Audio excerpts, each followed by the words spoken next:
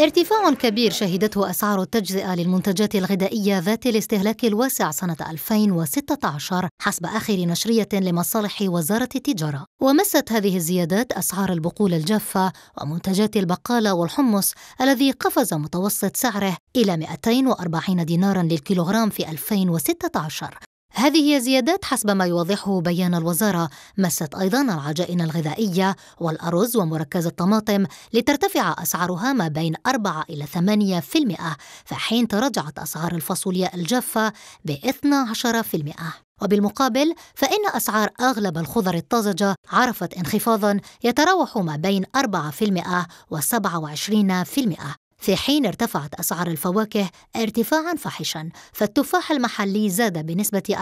40% وكذلك التمور وصلت إلى 462 دينارا وسجلت أسعار البرتقال أيضا زيادة ب 41% سنة 2016 فيما قفز سعر الموز ب 27% وبالنسبة لأسعار اللحوم الحمراء فقد عرفت خلال 2016 زيادة